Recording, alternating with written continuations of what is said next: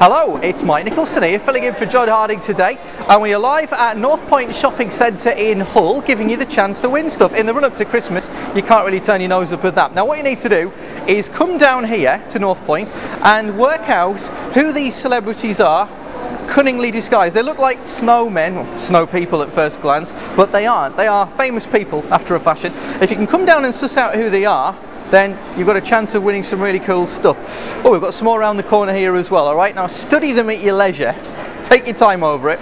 It's not rocket science. And once you're satisfied you know who these individuals are, then fill in one of the forms that we've got and you can uh, pop your form or forms because you can enter multiple times and leave them in the box inside the Christmas shop, which is where we're broadcasting from every Tuesday morning in the run up to Christmas, all right? Now, if you can't do that for whatever reason, you can always email in your entry to studio at kcfm.co.uk. I hope that's all clear. If it isn't, don't you worry, all the details are online at kcfm.co.uk. Now, in terms of the prizes you can win, I'll never remember these, so I've got a list here.